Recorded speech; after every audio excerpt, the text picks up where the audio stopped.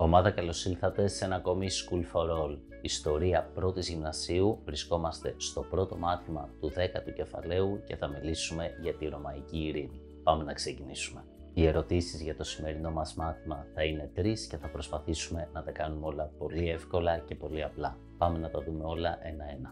Ερώτηση νούμερο 1. Ποιος συγκέντρωνε τις εξουσίες στη Ρωμαϊκή Αυτοκρατορία; Μετά την υποταγή της Αιγύπτου το 30 π.Χ., ο Οκταμβιανός είναι αναμφισβήτητα ο απόλυτος κυρίαρχος της απέραντης Ρωμαϊκής Αυτοκρατορίας. Τότε και έχοντας πάρει τον τίτλο του Αυγούστου, εκτός από αυτοκράτορας, γίνεται ο αρχηγός του στρατού και αυτός που είναι αρμόδιος να νομοθετεί αλλά και να ελέγχει τη θρησκευτική ζωή. Ουσιαστικά μιλάμε για τεράστια συγκέντρωση εξουσιών στο πρόσωπό του.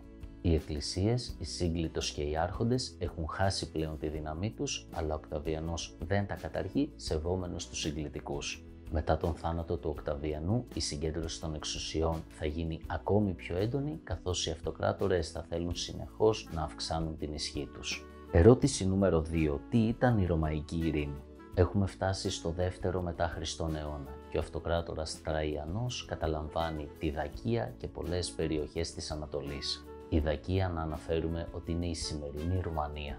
Μετά τον θάνατό του, οι αυτοκράτορες που έρχονται να τον διαδεχτούν δεν επιθυμούν να επεκτείνουν ακόμη περισσότερο την αυτοκρατορία. Η αυτοκρατορία άλλωστε είναι ήδη τεράστια, καθώς εκτείνεται σε όλες τις περιοχές γύρω της Μεσογείου και από την Αγγλία στο βορρά μέχρι τα βόρεια παράλια της Αφρικής. Τη Μεσόγειο μάλιστα οι Ρωμαίοι την ονόμαζαν Mare Nostrum, δηλαδή η θάλασσά μας. Ο αυτοκράτορας για να μπορεί να διοικεί την απέραντη αυτή αυτοκρατορία όριζε κυβερνήτες στις διάφορες επαρχίες οι οποίοι υποστηρίζονταν και από κρατικούς υπαλλήλους. Ο Ρωμαϊκός στρατός τώρα αποτελούταν από 400.000 μισθοφόρους οι οποίοι χωρίζονταν σε 30 λεγεώνες, δηλαδή σε 30 στρατιωτικά σώματα.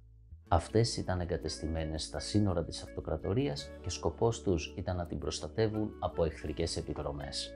Την περίοδο αυτή επικρατεί ειρήνη και ηρεμία στην αυτοκρατορία και οι κατεκτημένες περιοχές ευημερούν. Οι κυβερνήτες ελέγχονται από τον αυτοκράτορα και έτσι δεν είναι εύκολο να κάνουν αυθαιρεσίες. Η Ρώμη ανοίγει συνεχώς νέους δρόμους και νέα λιμάνια και αυτό είναι κάτι που οδηγεί σε ανάπτυξη του εμπορίου. Η παραγωγή πλέον αυξάνει και χαρακτηριστικό είναι ότι η κάθε επαρχία ειδικεύεται και σε άλλον τομέα. Αυτή λοιπόν η περίοδος της ομαλής συνύπαρξης των κατεκτημένων λαών με τους Ρωμαίους οδήγησε στην ευημερία της αυτοκρατορίας. Ερώτηση νούμερο 3. Πώς κατάφεραν οι Ρωμαίοι να κάνουν τους κατακτημένους λαούς να μην εξεγείρονται; Στα χρόνια της Ρωμαϊκής Ειρήνης, οι Ρωμαίοι αφήνουν τις κατεκτημένες περιοχές να λειτουργούν με μια σχετική αυτονομία.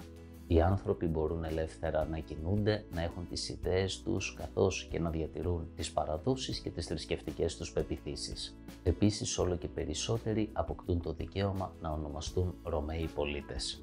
Όλα αυτά είχαν ως αποτέλεσμα οι κατακτημένοι να έχουν την εντύπωση ότι η Ρώμη τους σέβεται και έτσι η εξεγέρσης ήταν ένα πολύ σπάνιο φαινόμενο. Ομάδα εδώ κλείνουμε το βίντεό μας. Ελπίζω να τα κάναμε όλα πολύ εύκολα και πολύ απλά. Σας ευχαριστούμε που ήσασταν μαζί μας για ακόμη μια φορά μέχρι το επόμενο School for All. Να είστε όλοι καλά. Αντίος.